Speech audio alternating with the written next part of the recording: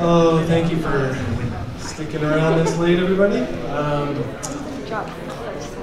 my name is Matthew Stanley, and this is Phil Morley, and uh, we've designed. Uh, I designed a net zero house, uh, net zero certified house for uh, Phil, who is Morley Mountain Homes, and he's building it.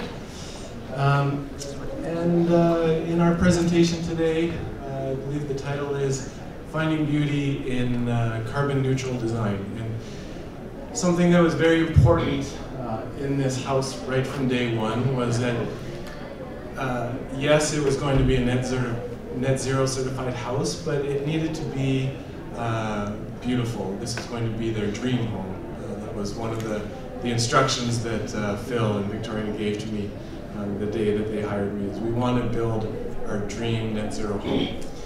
Uh, and I once saw. Uh, I'm just going to see if I can get these pictures scrolling through a little bit. Okay, sure. Uh, I saw a presentation once uh, by Bruce King, who is sort of a, a guru in, in, sustainable design uh, and construction. He said something that really stuck with me, and it was the most sustainable buildings that we can build are the buildings that people love. Uh, and uh, the reason for that is that buildings that people love, people will take care of and they will keep them. so, um,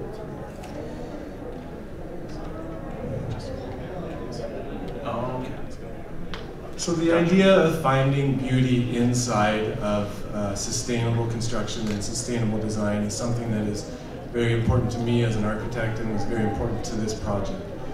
Um, so that first slide was a picture of the site, uh, and it is a very beautiful site. It's in Shore Acres. It's between Nelson and Castlegar, uh, and the the site on its own is, uh, you know, it sort of demands that we uh, approach it in a, a very uh, sort of sensitive way, but also uh, you know, it's got a lot of opportunity for views and for sunlight as well the first graphic I did for Phil and Victoria was this.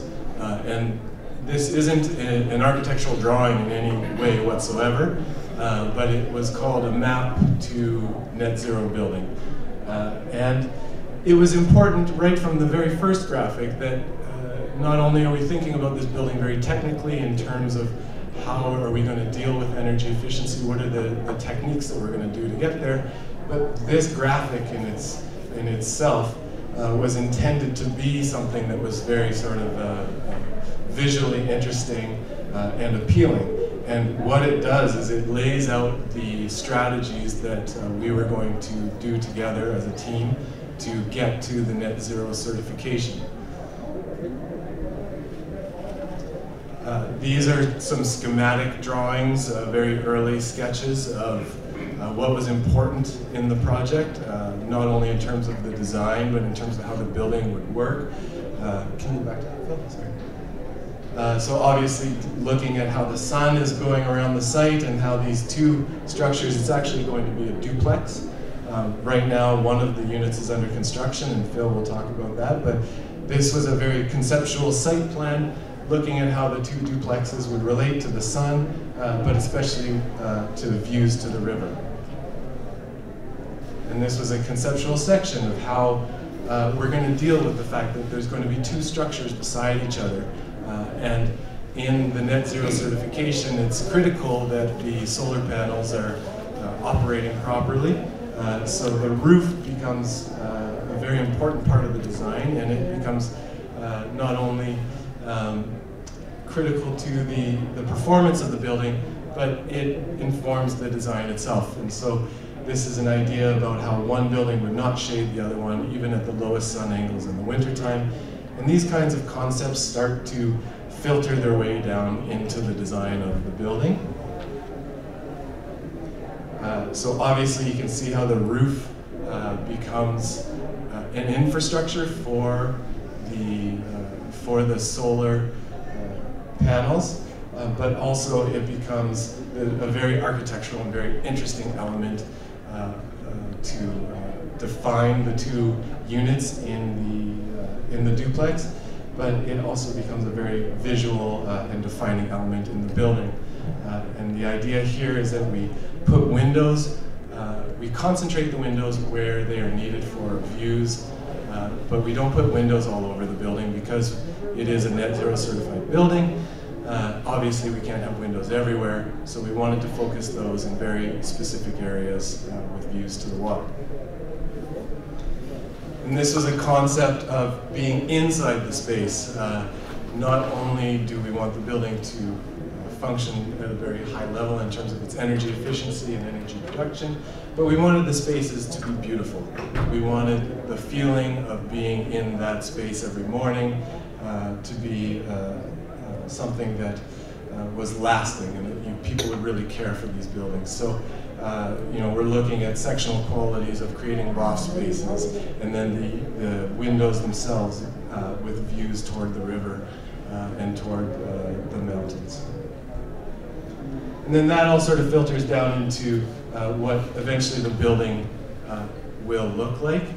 and it was very important to get to this stage where we said, okay, we can create a very highly efficient building uh, that when you look at it, you don't immediately think to yourself, oh, well, that's got to be, uh, you know, a super efficient building. It's, it's got a beauty on its own. Uh, there is glass where there needs to be glass. There's a beautiful uh, roof line, but all of those things are serving a purpose, uh, and eventually it gets to our net zero certification as well as to just creating a beautiful duplex for, for the owners.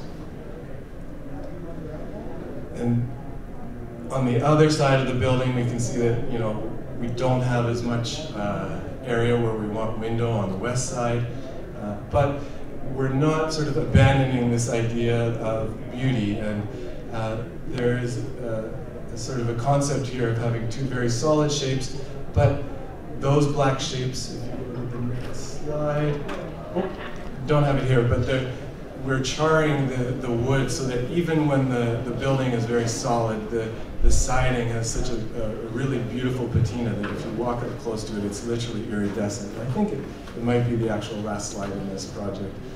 Uh, and so this project is now under construction. Uh, it started construction in the spring, and uh, Phil's been building it through the summer, going really well. We've got a few slides here of the construction. I'll let Phil say a few words about the construction itself. So you'll uh, tap me through on the computer. here. All right, Grant.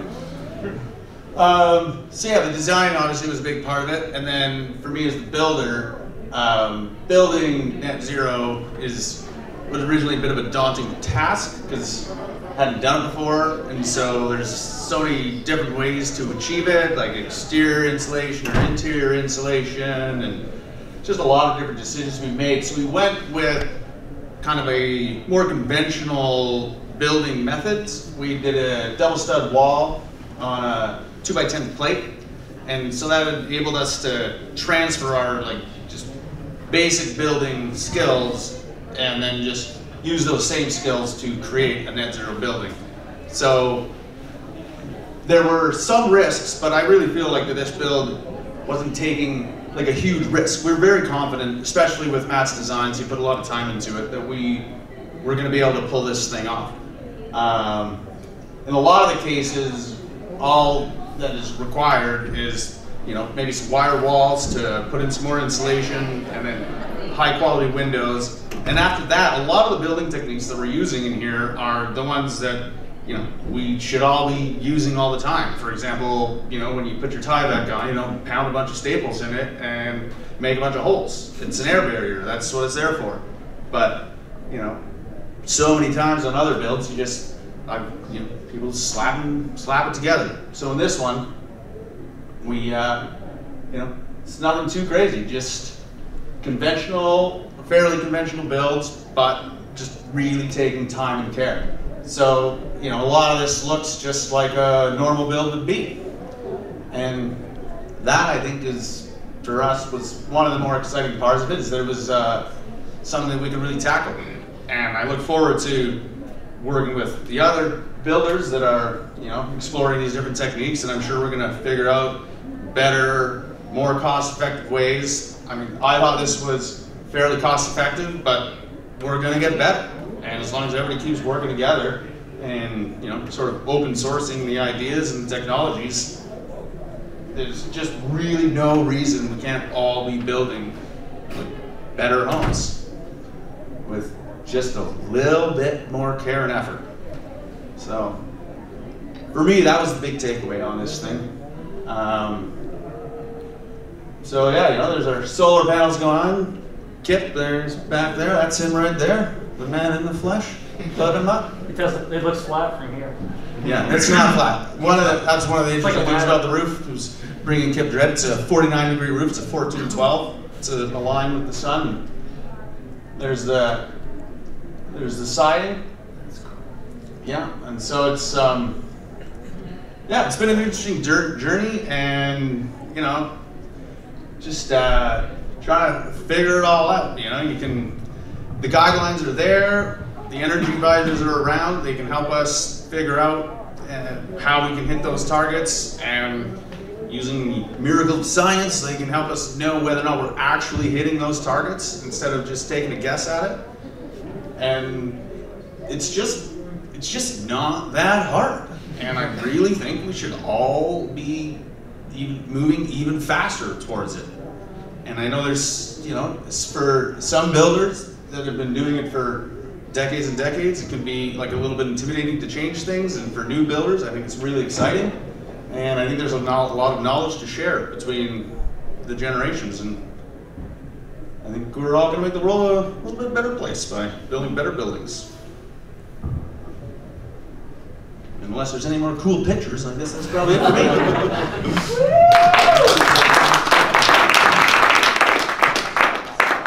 I was just wondering um, how this building compares cost per square foot compared to not net zero.